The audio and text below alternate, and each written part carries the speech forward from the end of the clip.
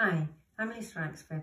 I'm the Chief of Nursing Services at University Hospital Hen Over the last few days, all of our Lanarkshire hospitals have seen an increase in the number of patients admitted with COVID-19. We expect the admission rate to continue over the next few days and weeks and that we are therefore asking for your assistance to protect our local hospitals.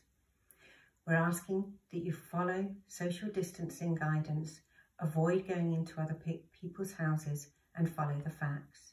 You must wear a face covering, avoid crowded spaces, wash your hands and continue to have a two metre distance at all times. If you do develop symptoms, you must self-isolate and book a test. It is really important that people access the right healthcare at the right time and the right place. Utilise your local GP minor injuries units and pharmacists. They can all support you in non-life-threatening illness.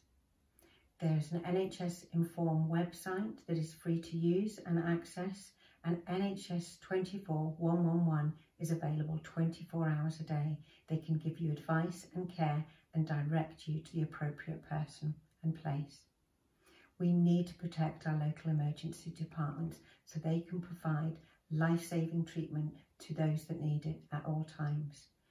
We take our responsibilities to maintain patient safety very seriously and we want to support you in the right way to access your health care.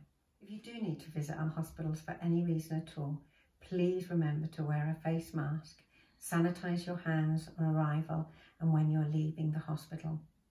The current number of patients that are admitted in our hospitals with COVID-19 is a stark reminder for us to be all vigilant going forward and to follow the guidance so that we can protect each other and protect our local hospitals. Thank you for listening.